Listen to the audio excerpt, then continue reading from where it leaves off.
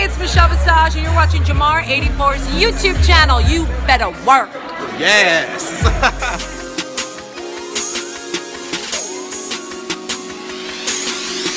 what's going on YouTube? Jamar, What's, what's, what's going on YouTube? Washington, This is boy, boy, boy, Jamar, party, party, party, for here once again. Hey, what's going on YouTube? This is your boy Four here once again, and we are here to discuss episode eight, I believe this is, of RuPaul's Drag Race. Everybody, or season eight of RuPaul's Drag Race, it is starting to get to the end. I'm sad because I've enjoyed this season so much, so much better than last season, by miles, leaps, and bounds. so, Last week, if you recall, Thorgy Thor was eliminated, which threw a lot of people off because a lot of people uh, predict, blah, blah, blah, predicted Thorgy was going to be in the top three, myself included. My top three initial prediction at the beginning of the season, if I haven't reneged, was Bob, Thorgy, and Kim possibly substituting for Acid Betty. Then once Acid Betty got eliminated, that's when I replaced it with Kim. So, and however, there's been a discussion that I thought would be very interesting. I watched it on um, AfterBuzz and I listened to it on the Drag Race Recap podcast. That it would be interesting if Ruse set it up to where the top three for the first time were three African Americans Bob, Naomi, and Chi Chi. That would be interesting. I would be here for that. I would be here for that. But um, we can go ahead and talk about the episode. So they go back into the workroom and they see Thorgy's lipstick message, right? And so it says something about, you know, everybody's great, but take down Bob and, you know, the top three should be Bob, Derek, and Naomi. And Kim Chi and Chi Chi are looking like, bitch, you tried it. So, which we all know that his prediction isn't true based off the end of this episode. Um, and I'm sure a lot of people are happy that this episode finally came, including myself. In all honesty. So, everybody just starts reading Derek. Basically, because Derek just. last week was Derek's only time winning a challenge, right? And we can't help but feel like the only reason that Derek won that challenge was because he was connected to Bob. Okay, if it was rated individually, Bob would have won on his own. And even Derek's campaign from the Shady Politics, what he said and was doing wasn't even the part of the campaign that was interesting. It was well, it was what was Bob was doing that people were watching and what made it good. So it wasn't even you. Bob was fine on his own. I mean, he just used you as like a little prop. Okay, he was fine by himself. You were so lenient on Bob to be funny, so it's almost like, did you really win? You know, you just have to be in the right place at the right time to me. But uh, they kept saying that he should have been the bottom. We've been saying Derek should have been the bottom many times. Derek should have been the bottom like episode three. Okay. Who was uh who was in the, uh, the bottom that week? That was when they did it was uh, uh Robbie and Cynthia. It should have been uh Cynthia and Derek. Even though probably the outcome still would have been the same. She still should have been in the bottom a long time ago. Because remember when she had the afro and she was trying to say it's okay to be gay, and then the Empire thing, it was it was a mess. For those that were uh, unfamiliar with Empire watching that, they're probably like, I'm not gonna watch that show. it was not. They tried that, but anyways, basically Derek has been kind of coasting by and just been keeping. Uh, uh, you know what? There's like a, a I don't know what is it a conspiracy but people feel like certain people who are famous prior to Drag Race have like a contract that they're supposed to be on the show for a specified amount of time. Like they can't be eliminated until episode seven, eight, nine, later in the game, to where they've been on the show long enough to create somewhat of an impact. and so they want to keep uh, like Miss Fame and Derek Barry who are famous before Drag Race. They want to keep them on the show as long as possible so that their fans of them will tune into the show and hopefully become fans of the show and thus boost their ratings. It would make sense because Derek Barry should have been, at least Miss Fame was giving you looks. Derek is not giving you anything. Even that last time when she tried to give you a look with the tearaway, it still was giving me nightgown. But it just is what it is. So they had to do the mini challenge, which is the puppet challenge. And uh, if I can remember who got who. Bob had Kim Chi, Naomi had Derek, Derek had Naomi, Kim Chi had Chi Chi, and Chi Chi had Bob. Now, these were actually probably like the funniest mini mini challenge that they've had. I thought the reading the library is open one was going to be the funniest one, but that flopped. So, but the funniest one was obviously Chi Chi when she was playing Bob and she was talking about how he was really loud and how he actually had a mini purse first. That's because that's what she calls the purse that she made in the first episode. Walk to the room, purse first. Ow. She actually made a little mini one and had Bob use that. It was really, really funny. But all the while, you know, Naomi and Derek had been sort of making this this tension. I'm not even sure where it came from, honestly. It just kind of came out of nowhere but uh, Derek was making fun of uh, uh, Naomi's wigs. Naomi was making fun of how he wraps fabric around himself and how he doesn't glue down his eyebrows. And there was just this whole big debate. Now, Derek was trying to make a point to say that, well, what I do isn't drag, I'm an impersonator. And Naomi's and Naomi kept saying, well, along the lines of what I was thinking and what I believe a lot of other people were thinking. This is RuPaul's drag. Say it again. RuPaul's drag race. Okay, this is not RuPaul's impersonation race. This is not America's Got Talent or So You Think You Can Dance. Okay, whatever the show that Derek Barry was on you are supposed to give drag. Okay? It's amazing how Courtney Act made it as far as she did, but know what? Courtney gave like looks. I can't even I can't even knock Courtney. The Courtney gave some damn good looks, but she relied on pretty. Like she was giving fish, you know, fishy makeup, real woman.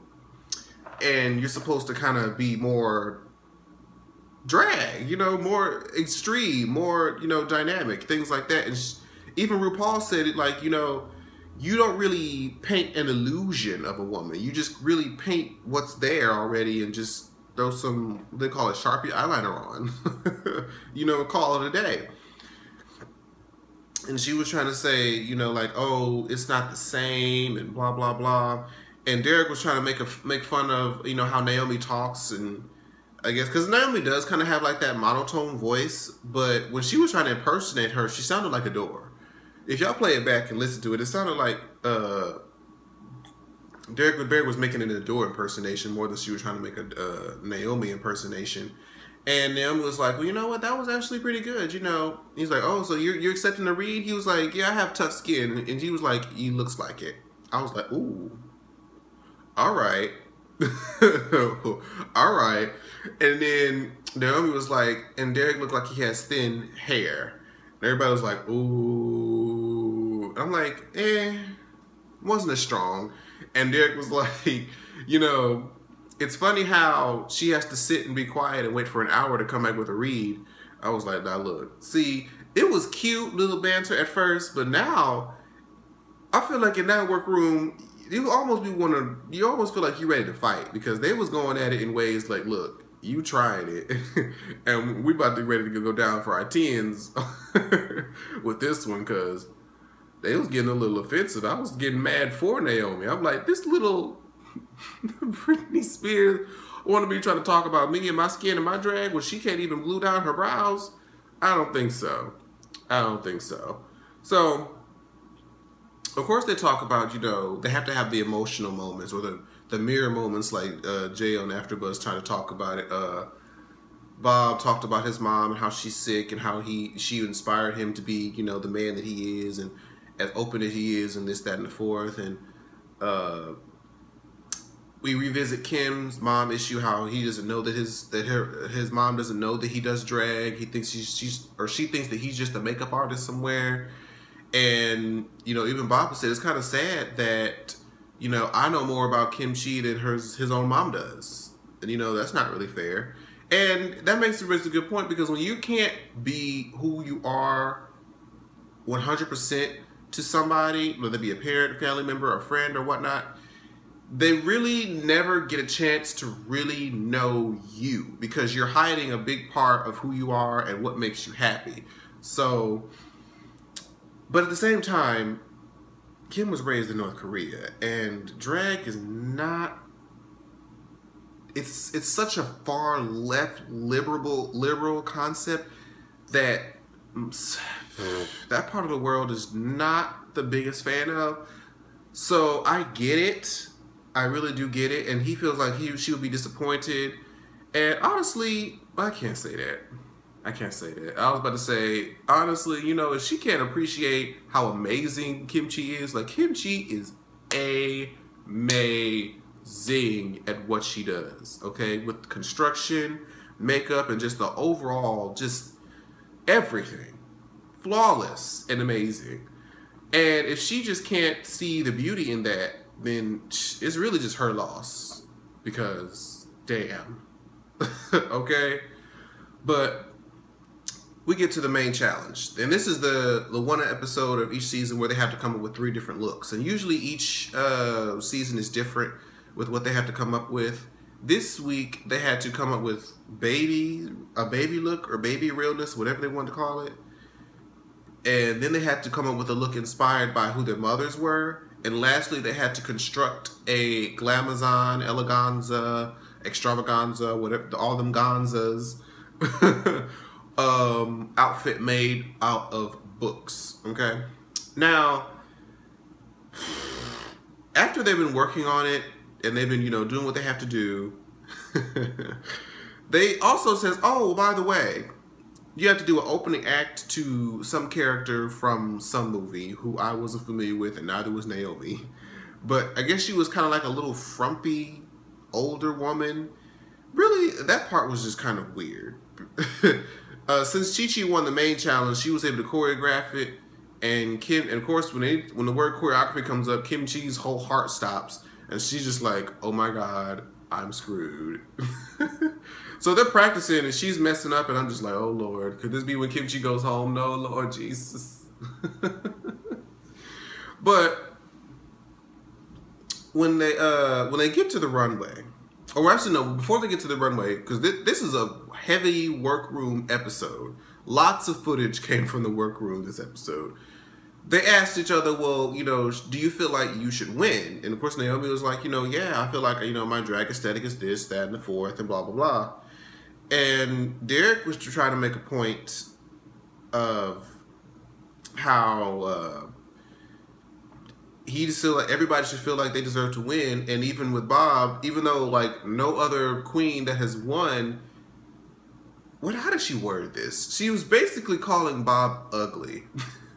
in a way that no Bob doesn't possess the same type of beauty that the past winners have had. She said something along those lines. And I'm just like, well wait. Wait a minute. If that's the case, you shouldn't even you know you damn well you shouldn't win. Because at least Bianca, BeBe, Tyra, Raja, Sharon, and Jinkx, and Violet can construct clothes this that you walked out on and the stuff that you have walked out with thus far up until this point, not winning material. Okay? So I would highly suggest you shut the fuck up, but because I'm not, it's it's not happening. It's you have no room to talk about somebody and past winners' traditions because we could look at you and say the same thing, baby, the same thing. But there's been a lot of discussion about how, and I'm mainly this is on the Drag Race recap show. If you guys haven't subscribed to that on iTunes, make sure you go check that out. They received uh, questions about do they feel like Derek Barry is bullied on the show? Does Bob the drag queen bully Derek Barry? And from this episode, I and I've kind of always felt like no, Derek Barry is not being bullied. If everybody's coming at Derek Barry, it's because Derek likes to say sly shit under his breath and talk about people, and then when tries to hide his hand when people try to throw it back at him, and that's pretty much how I see it. I see a, I see a person who can dish it but not take it. Okay, he's not being bullied. He just doesn't have the room to talk about most people. He likes to throw jabs and stuff, but he uh, he can't really take it thus far. Otherwise, he gets all personal and all defensive and whatnot. Like last week in Untucked, the whole him thing. It's just like okay, all right. so where are we at? Oh, they also talk about Bob's makeup. Now, this is a very interesting topic because a lot of people have, uh, or quite a few people have said this as well, that Bob's makeup, you don't see like a real drag aspect to it, more or less. And Bob would have explained it that he's more so for the performance than the appearance. He's not going to necessarily go out there looking completely busted, but he's not focusing so much on the makeup aspect as opposed to his performance of whatever it is that he's doing. And I've seen a lot of shows with Bob, and I think he's very good. I think he's very entertaining. I you hardly ever even remember or think about the fact that he doesn't have on these huge lashes or like really cut cheeks or you know highlight like you know like most other drag queens do. You hardly even notice that because you're so entertained by the show that he's putting on. So Kim Chi was basically like, you know, I'm not trying to say that you're bad at makeup. I'm just saying that it looks like there's nothing there. Which, uh, I mean, you know, as an African American, it is a little bit harder to find proper shades for us than it is, you know, more fair people. At least from my experience, it's like we'll find something that's kind of close, and we have to mix different foundations to try to get that just right shade. So and and I know I haven't seen, or it's very rare that I see, you know, very dark hued people able to uh, paint that way and have like a good match to their skin. So I understood Bob's plight, but he also was like, you know, I'm not necessarily more so focused on that. I'm mostly focused on being, you know, a performer. So Derek Barry finally decides to glue down their brows. And after Herb and Naomi was going back at it for like forever, uh, even they had the shade of like Naomi was like, if you glue down your brows, I'll glue down my wig. because they've never talked about my wig, but they have talked about your makeup. bitch. so I feel like Naomi won this whole little pitter patter, but be that be that as it may, Naomi apologized, and you know they buried the hatchet, and he was trying to show her how to cover her brows, and Kim Chi was like, I mean, that's something you should probably have practiced before coming on RuPaul's Drag Race, which is like the Olympics of drag. You know, try covering. I mean, I mean, not every queen does it, but it's still. A, I feel like it's a necessary skill that you should have in your repertoire, just in case situations just like this you need it. Get this. God, that thing could get on my nerves. So he did it, and let me tell you something. Covering your brows and drawing them on is not easy. If you don't have a steady hand, if you if you're not just somebody who can really view it and get the shape right, because I tried that first and it was horrible.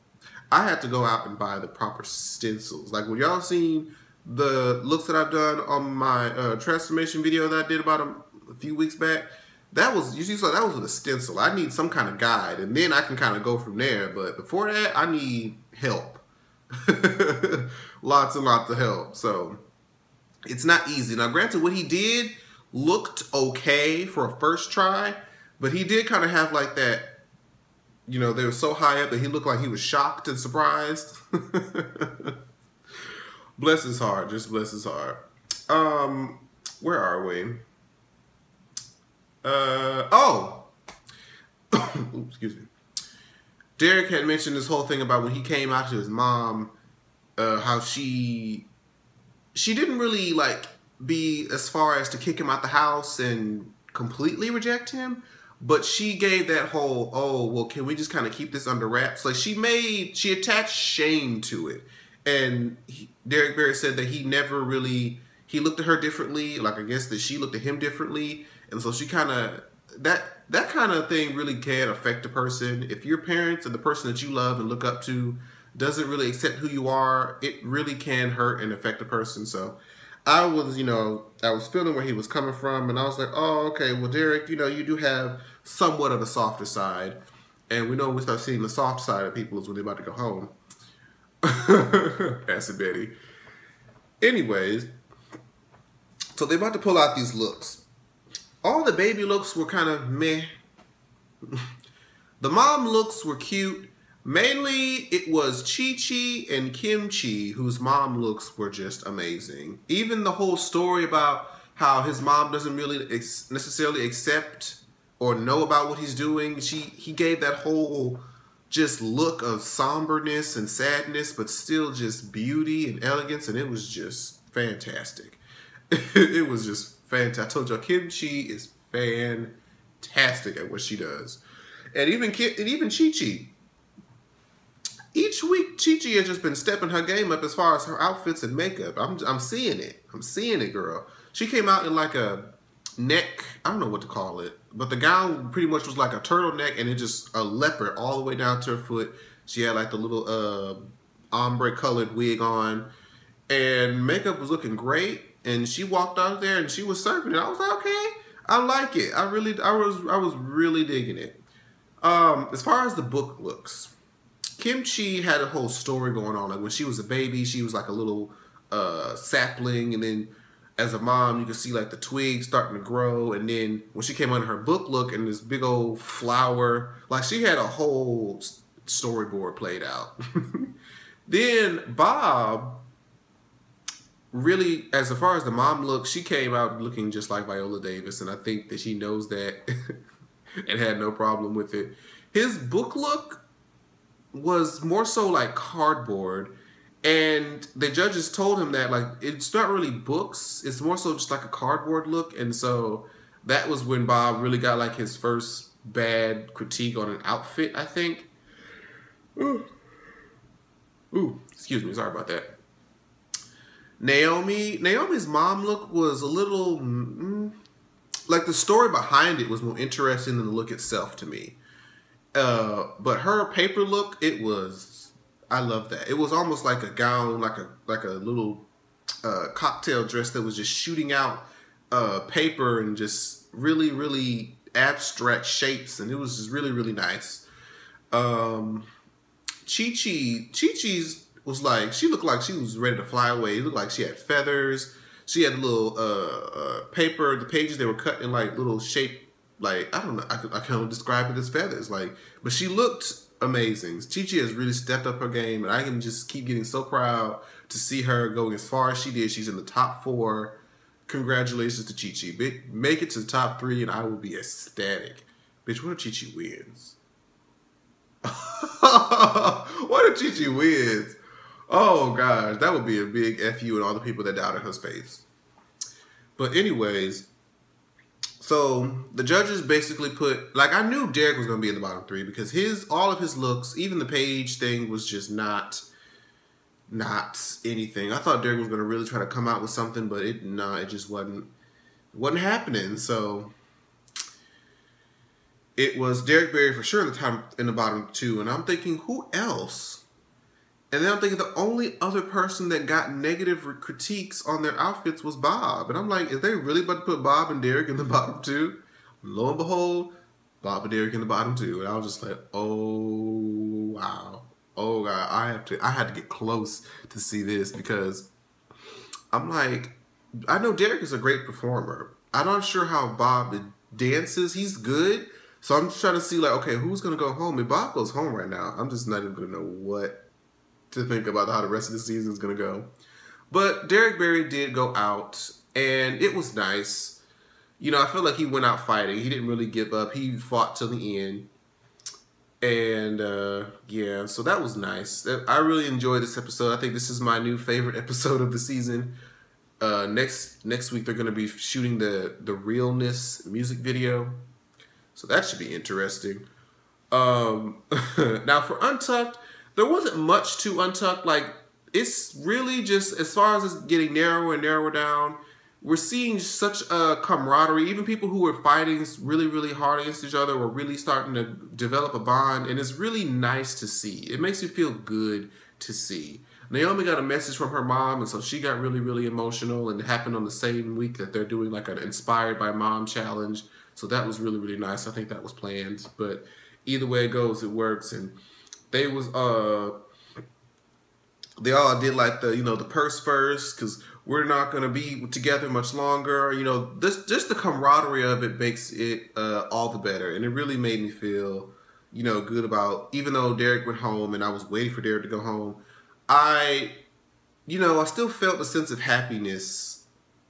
Like it wasn't a bittersweet moment for him to go home, and so now we have our top four. We have Miss Chi Chi DeVayne, Bob the Drag Queen, Kim Chi, and Naomi Smalls. Who will be the next queen to go home? My prediction, I don't know. I really don't know because Chi has stepped up her game up. Naomi has stepped up her game up. Bob slipped a little bit this week, but and Kim Chi won this week, so it's really, really tough right now, and it's so exciting. Even though I still think Bob's gonna win, just based off the pattern. I'm still excited to see how this whole thing is going to play out. So let me know what you guys think in the bottom. And like, comment, subscribe to the video. If you're new, I hope you subscribe. And to all my returning viewers, welcome back. And I will see you guys in the next video. Bye-bye. Like, share, subscribe. Jamar, Washington, Washington, Washington.